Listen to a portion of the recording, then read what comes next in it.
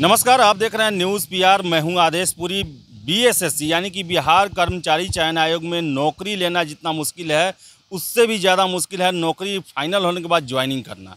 आपको ये देख रहे हैं जितने जो कैंडिडेट दिखाई दे रहे हैं, ये सारे लोग ड्राइवर के कैंडिडेट हैं, जो कि 2013 में हाई कोर्ट के आदेश के बाद इनका फॉर्म निकला 2016 में और 2021 में मई में इनका फाइनल रिज़ल्ट आता है।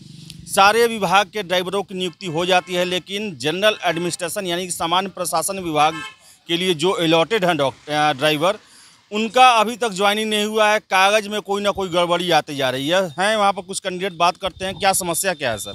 सर हम लोग का एक सौ उन्नीस आदमी गए हैं सामान प्रशासन में भेजा गया यहाँ से।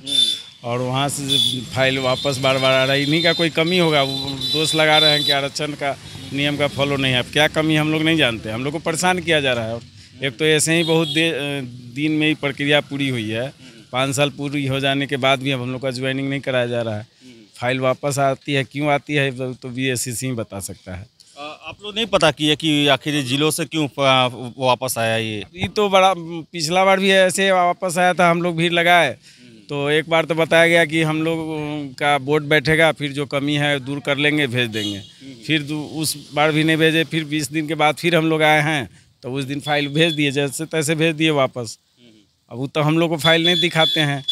या हम लोग को देखने का राइट नहीं है। यहाँ दो चार आदमी दस आदमी आते हैं तो मिलते भी नहीं लोग। उस बार भी हम लोग आए थे चालीस पैंतालीस नहीं मिले। बार बार गया गार्ड साहब आवेदन लेके गए मिला नहीं।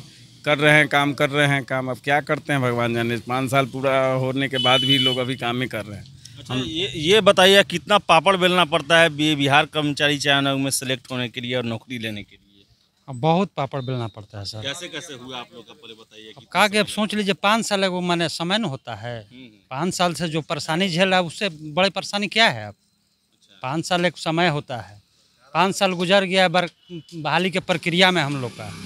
लास्ट ज्वाइनिंग का समय है तो देखिए आज मैंने चार महीना हो गया कम से कम मेडिकल कराया हुआ काउंसलिंग कराया हुआ।